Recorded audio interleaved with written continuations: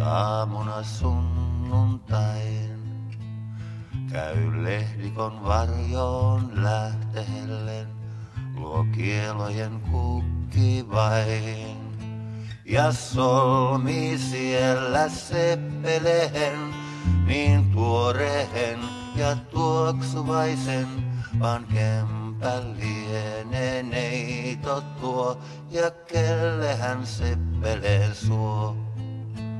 Se neitonen kaino armainen on morsian viekkosen, mi venhossa istuu ootellen ja armastaan aatellen.